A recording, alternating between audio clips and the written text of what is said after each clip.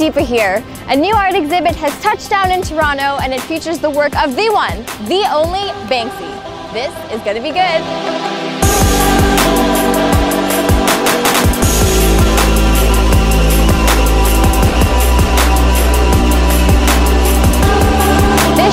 Includes pieces of work that date all the way back to 2003. And not only does it include his really famous wall murals, but it also includes things like stencils, sculptures, and screen prints that you may have never seen before.